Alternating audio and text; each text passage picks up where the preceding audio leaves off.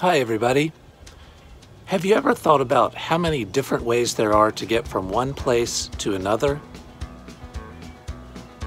On the road again. Just can't wait to get on the road again. The life I love is making music with my friends. And I can't wait to get on the road again. On the road again. Going places that I've never been. Seeing things that I may never see again. I can't wait to get on the road again on the road again.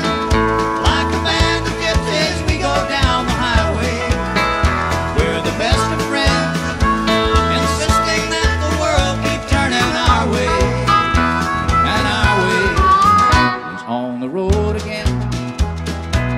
I just can't wait to get on the road again. The life I love is making music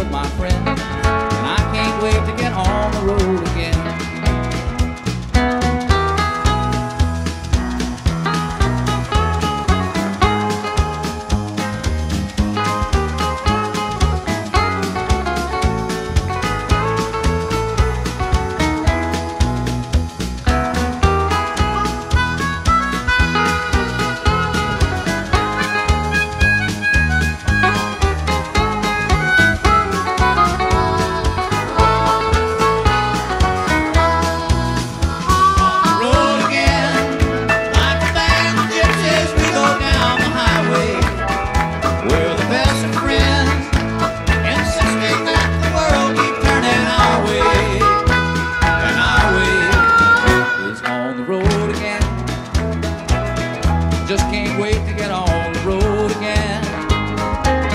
The life I love is making music with my friends,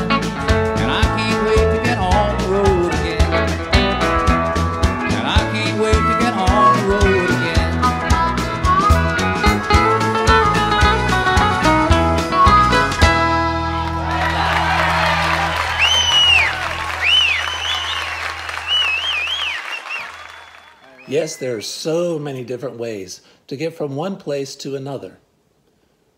But in the Bible, Jesus teaches his friends about a way to get not to a place, but to God. And that way is Jesus himself. In John 14, 6, Jesus says, I am the way and the truth and the life. You can't know God if you don't know me.